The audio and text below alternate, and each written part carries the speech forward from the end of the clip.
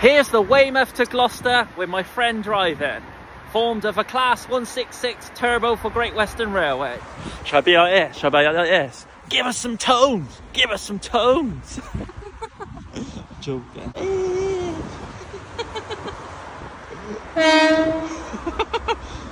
they were like this in Bristol. They were like, eh, give us some tones!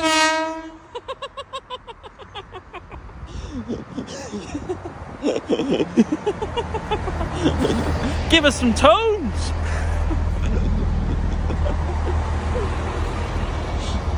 oh, that's my friend from Gloucester, but I'm not going to mention her name.